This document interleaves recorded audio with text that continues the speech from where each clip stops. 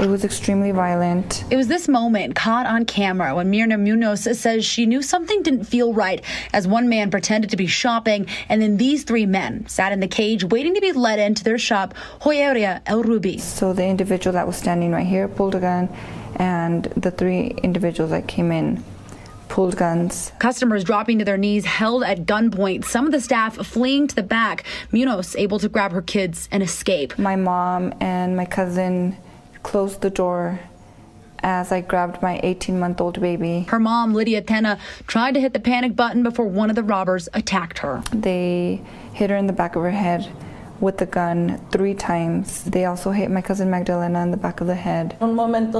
She felt like they were going to kill her after they hit her three times with the gun in her head.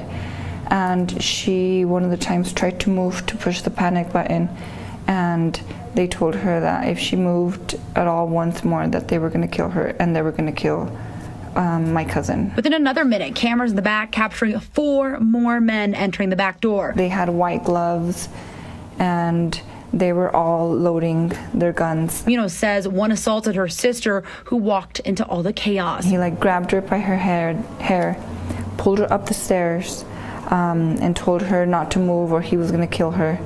And while he had her face down to the floor, he yanked all of her personal jewelry off. The eight men wiping out the store that's been here for 24 years in a matter of three minutes. Everything, they just sort of started putting it in backpacks and duffel bags. Denver police confirming they are looking for these eight Hispanic men. It's organized crime and their accent is from Venezuela. Walls now bare and shelves disheveled. This family shaken and scared for the future of their shop. This is very traumatizing.